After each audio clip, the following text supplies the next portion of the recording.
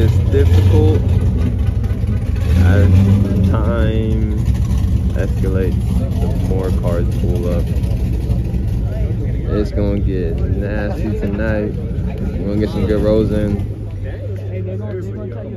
But um, yeah. Double or nothing. All these cars. Ooh.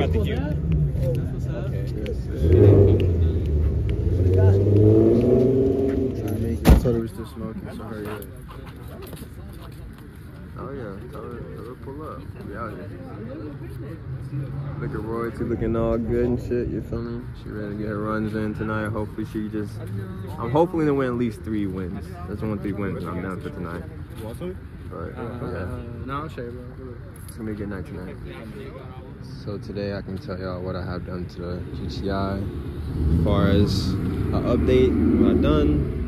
So right now she's on a stage two tune, E30 by EQT. Um, she's almost full bolt on, damn near there. Just missing the exhaust, but um, yeah, we're just gonna see what she do against these cars.